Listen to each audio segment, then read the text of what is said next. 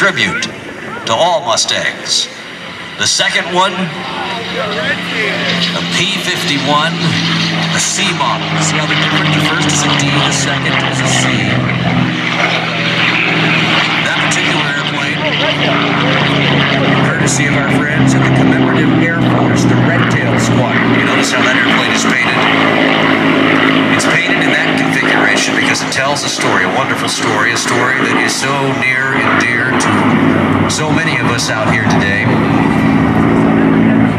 the story that we've all taken to heart, and I want to tell it to you right now. You see, back during World War II, that little red tail Mustang with a 1490 horsepower Rolls Royce Merlin engine, the Cadillac of the sky, was thought to be so advanced back then, was thought to be just impossible for someone with a different color of skin to fly. I'm talking about the Tuskegee Airmen, the men went down there to Tuskegee Army Airfield and they proved that indeed black man could fly. This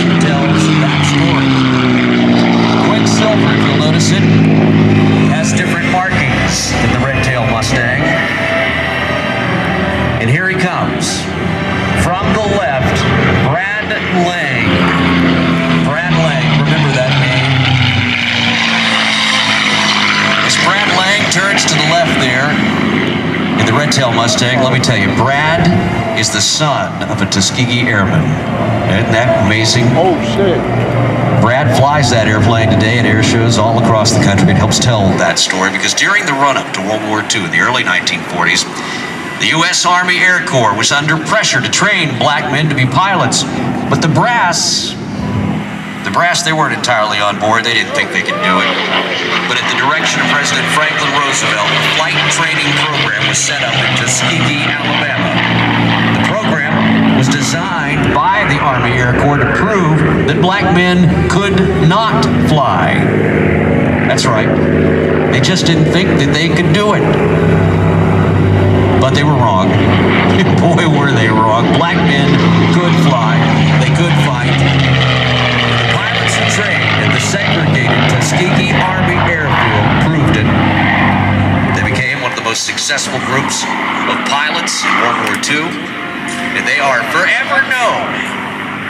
The Tuskegee Airmen.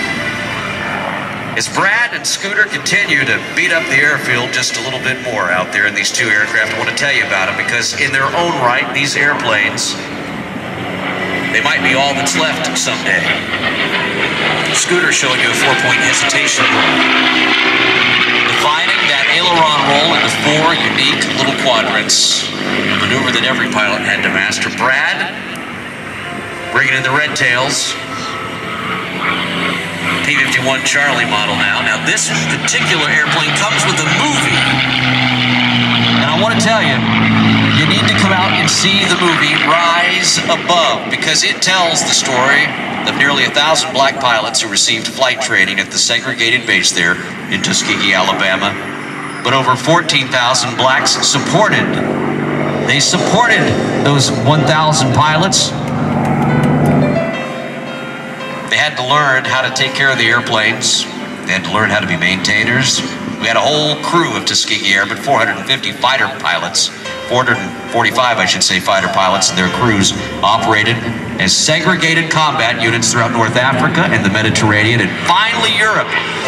66, 66 Tuskegee Airmen gave their lives and 32 were captured as prisoners of war. The airmen were awarded over 850 medals, including the Presidential Unit Citation, the highest award that can be given to a military unit. Just remarkable. You can hear Scooter and Brad up there having fun this morning. But that story, the story of the Tuskegee Airmen, is one that ought to go home in all of your hearts today. Let me see a show of hands out here. How many of you have a veteran in your family who served back in World War II? Let's see a show of hands for the World War II vets. A lot of you have your hands up. Go home and learn their story. Will you do me that favor? Just go home and learn your own family story. Because just like the Tuskegee Airmen's story, every family's story is important. On this next pass, take a look at that airplane. Quicksilver ended up with all kinds of insignias. For the modelers out there, for the aviation buffs, they don't make a lot of sense. We will tell you that story later today. That airplane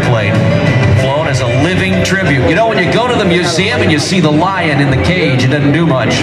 But when you go to the zoo and you hear it roar, it all makes sense. Listen now to Brad Lange and the Red Tails Mustang roar on past.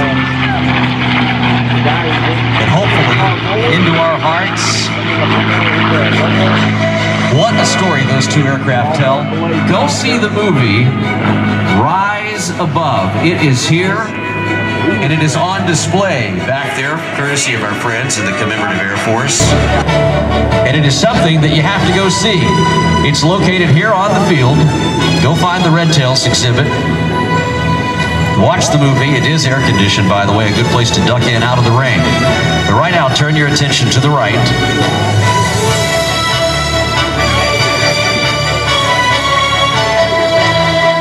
And let's watch now is Watch now as the red tail sets up for his approach to landing.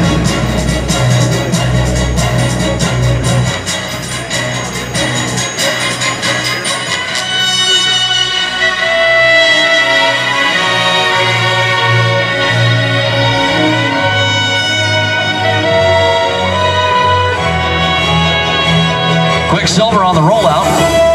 He has a whole show coming up later today, so we're not going to tell you too much about Quicksilver. We'll save it for later, but just take a look. The stars and bars, the invasion stripes, the highly polished silver veil around the propeller is important to look at. When you look into that airplane's paint, believe it or not, the black, the black paint on that airplane, there's little metal flakes in it.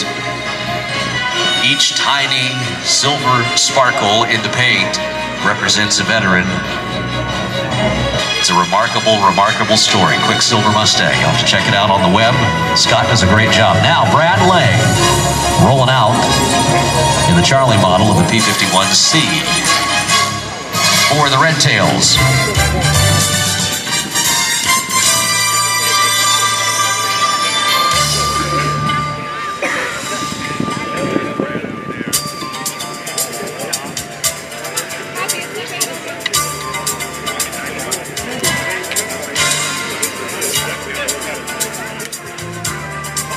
A while. We're gonna go get something to eat. Well, I told you earlier that